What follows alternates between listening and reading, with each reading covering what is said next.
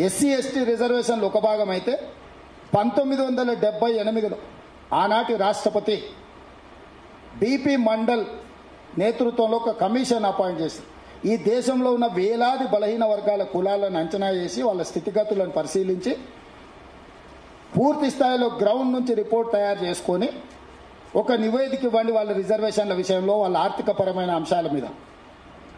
BP mandal ఇచ్చిన commission నివేదికను పంతొమ్మిది వందల తొంభైలో విపి సింగ్ మండల్ కమిషన్ పేరు మీద యాభై రెండు శాతం బీసీ జనాభా ఉన్నది.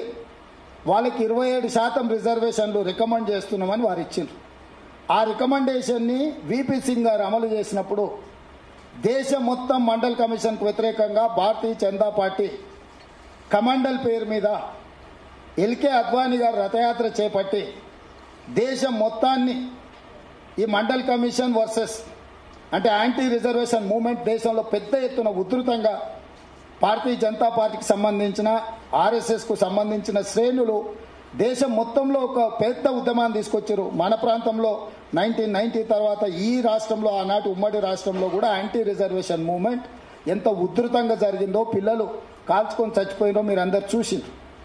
అదే సమయంలో కోర్టు కూడా వెళ్ళారు తొమ్మిది మంది జడ్జిలు ఉండే ధర్మాసనం రిజర్వేషన్లు న్యాయసమ్మతమే. రిజర్వేషన్లను కొనసాగించాల్సిందే. ఇంతకంటే పెంచాలనుకున్నప్పుడు బలహీన వర్గాల యొక్క జనాభా లెక్కించి జనాభాను ప్రాతిపదికన మీరు రిజర్వేషన్లు పెంచాలి అని అప్పర్ లిమిట్ ఫిఫ్టీ పర్సెంట్కు క్యాప్ పెట్టారు.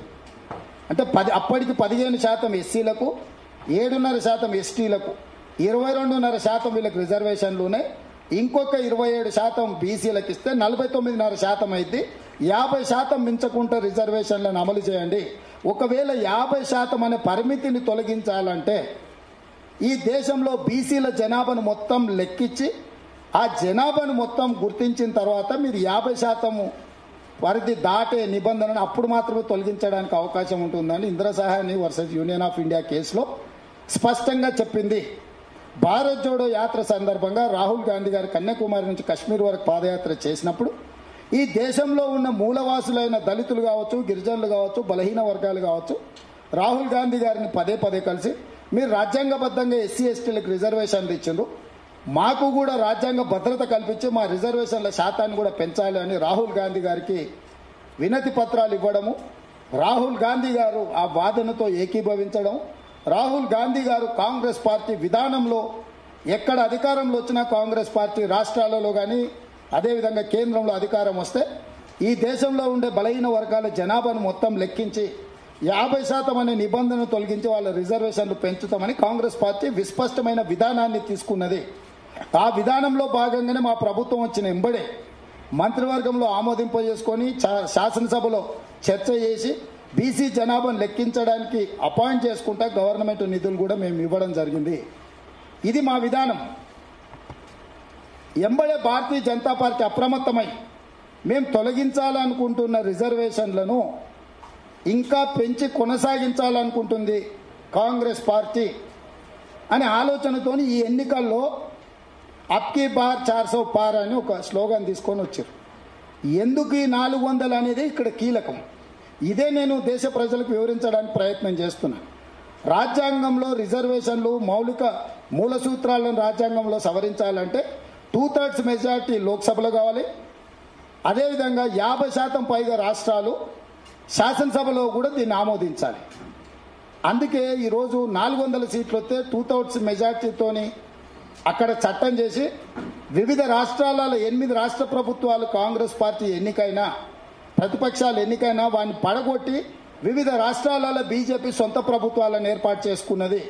ఈ రిజర్వేషన్లను రద్దు చేయాలంటే లోక్సభలో టూ థర్డ్స్ మెజారిటీ కోసం ఈ ఎన్నికల్లో అన్ని దుర్మార్గాలకు పాల్పడుతూ అన్ని రకాలుగా ఒత్తిడి చేసి లొంగ తీసుకొని పార్టీలను చీల్చి చివరికి అసహించుకునే పరిస్థితిలో ఎన్సీపీని చీల్చి అజిత్ పవార్ను శివసేనను బి చీల్చి ఏక్నాథ్ సిండేలను ప్రతి రాష్ట్రంలో కర్ణాటకలో పార్టీలను చీల్చడం ఇట్లా ఎనిమిది రాష్ట్రాలల్లా ప్రతిపక్ష ప్రభుత్వాలు ఉన్న వాటిని పడగొట్టి భారతీయ జనతా పార్టీ తమ ప్రభుత్వాలను ఏర్పాటు చేసుకుంది.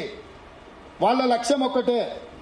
పంతొమ్మిది వందల ఇరవై ఐదులో మొదలైన ఆర్ఎస్ రాష్ట్రీయ స్వయం సేవక్ సంఘ్ వంద సంవత్సరాలలో వాళ్ళకు కొన్ని గోల్స్ పెట్టుకొని బయలుదేరారు ఒకటి దేశాన్ని హిందూ దేశంగా ప్రకటించాలని రెండు రిజర్వేషన్లను తొలగించాలని ఇట్లాంటి చాలా ప్రాధాన్యతతో కూడుకున్న అంశాలు ఉన్నాయి. మిగతా త్రీ సెవెంటీ ఆర్టికల్ కానీ త్రిబుల్ తలాక్ కానీ సిటిజన్ అమెండ్మెంట్ యాక్ట్ కానీ యూనిఫామ్ సివిల్ కోడ్ కానీ ఇవన్నీ ఆర్ఎస్ఎస్ యొక్క విధానాలు. వాటన్నిటినీ మోడీ గారు అమిత్ షా గారు పూర్తి చేసిండ్రు పద్దెనిమిదో పదిహేడవ లోక్సభలో. ఇప్పుడు పద్దెనిమిదవ లోక్సభలో రెండు వేల ఇరవై ఐదు రాబోతుంది కాబట్టి రిజర్వేషన్లను రద్దు చేయడానికి ప్రణాళికబద్ధంగా పక్కడ్బందీగా ఈరోజు వాళ్ళు ఈ కార్యక్రమాన్ని చేపట్టినరు ఈ విషయాలను నేను ప్రస్తావించిన ఎంబడే నా మీద